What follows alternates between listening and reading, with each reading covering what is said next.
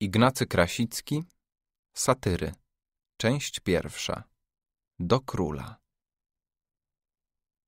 Im wyżej, tym widoczniej, chwale lub naganie podpadają królowie, najjaśniejszy panie. Satyra prawdę mówi, względów się wyrzeka. Wielbi urząd, czci króla, lecz sądzi człowieka. Gdy więc ganie zdrożności i zdania mniej baczne, pozwolisz, mości królu, że od ciebie zacznę. Jesteś królem, a czemu nie królewskim synem? To niedobrze. Krew pańska jest zaszczyt przed gminem. Kto się w zamku urodził, niech ten w zamku siedzi. Z tegoć powodu nasi szczęśliwi sąsiedzi. Bo natura na rządczych pokoleniach zna się. Inszym powietrzem żywi, inszą strawą pasie. Stąd rozum bez nauki, stąd biegłość bez pracy.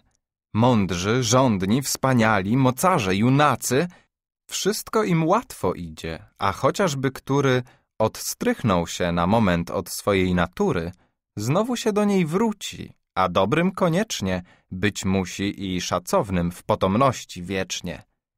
Bo od czegoż poeci, skarb królestwa drogi, rodzaj możny w aplauzy, w słowa nieubogi, rodzaj, co umie znaleźć, czego i nie było, a co jest, a niedobrze, żeby się przyćmiło. I w to oni potrafią, stąd też jak na smyczy, szedł chwalca zachwalonym zysk niosąc w zdobyczy, a choć który fałsz postrzegł, kompana nie zdradził. Ten gardził, ale płacił, ów śmiał się, lecz kadził. Tyś królem, czemu nie ja? Mówiąc między nami, ja się nie będę chwalił, ale przymiotami niezłymi się zaszczycam. Jestem Polak rodem, a do tego i szlachcic, a choćbym imionem szynkował, tak jak niegdyś ów Bartnik w Kruszwicy, czemuż bym nie mógł osieść na twojej stolicy? Jesteś królem, a byłeś przedtem mości panem. To grzech nieodpuszczony. Każdy, który stanem przedtem się z tobą równał, a teraz czcić musi, nim powie najjaśniejszy, pierwej się zakrztusi. I choć się przyzwyczaił, przecież go to łechce. Usty cię czci, a sercem szanować cię nie chce. I ma słuszne przyczyny, wszak w Lacedemonie zawsze siedział Tesalczyk na likurga tronie. Greki archontów swoich od Rzymianów brali. Rzymianie dyktatorów od Greków przyzwali. Zgoła, byle był nie swój, choćby i pobłądził, zawsze to lepiej było, kiedy cudzy rządził. Czyń co możesz i dzieł mi sąsiadów zadziwiaj, szczep nauki, wznoś handel i kraj uszczęśliwiaj, choć wiedzą, chociaż czują, żeś jest tronu godny, nie masz chrztu, co by zmazał twój grzech pierworodny. Skąd powstał na Michała ów spisek zdradziecki? Stąd tylko, że król Michał zwał się Wiśniowiecki. Do Jana, że Sobieski, naród nie przywyka. Król Stanisław dług płaci za pana stolnika. Czujesz to i ja czuję, więc się już nie troszczę, pozwalam ci być królem, tronu nie zazdroszczę. Źle to więc, żeś jest Polak, źle, żeś nie przychodzień. To gorsza, luboć, prawda, poprawiasz się co dzień, przecież muszę wymówić, wybacz, że nie pieszczę. Powiem więc bez ogródki, oto młodyś jeszcze. Pięknież to, gdy na tronie sędziwość się mieści. Tyś nań wstąpił mający lat tylko trzydzieści. Bez siwizny, bez zmarszczków, zakał to nie lada. Wszak siwizna zwyczajnie talenta posiada, wszak w zmarszczkach rozum mieszka, a gdzie broda siwa, tam wszelka doskonałość zwyczajnie przebywa. Nie byłeś, prawda, winien temu, żeś nie stary. Młodość, czerstwość i rzeźkość, piękneż to przywary, przecież są przywarami, aleś się poprawił. Już cię tron z naszej łaski siwizny nabawił. Poczekaj tylko, jeśli starzeć ci się damy, jak cię tylko w zgrzybiałym wieku oglądamy, będziem krzyczeć na starych, dlatego żeś stary. To już trzy, com ci w oczy wyrzucił przywary. A czwarta jaka będzie, miłościwy panie? O sposobie rządzenia niedobre masz zdanie.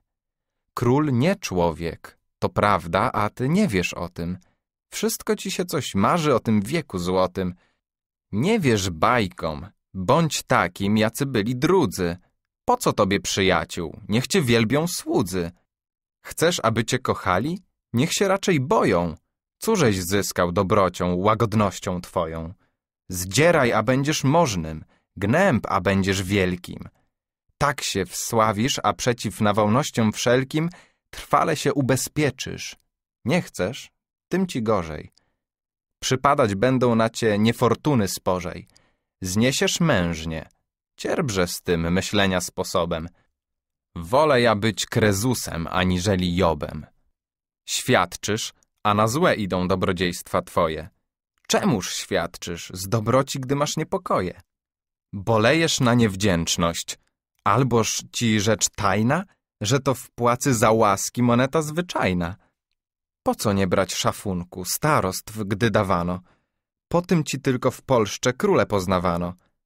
A zagrzane wspaniałą miłością ojczyzny, kochały patrioty, dawce królewszczyzny. Księgi lubisz i w ludziach kochasz się uczonych. I to źle, porzuć mędrków zabałamuconych. Żaden się naród księgą w moc nie przysposobił. Mądry przedysputował, ale głupi pobił. Ten, co niegdyś potrafił floty duńskie chwytać, król Wizimierz. Nie umiał pisać ani czytać. Waszej królewskiej mości nie przeprę, jak widzę. W tym się popraw przynajmniej, o co ja się wstydzę. Dobroć serca monarchom wcale nie przystoi. To mi to król, co go się każdy człowiek boi.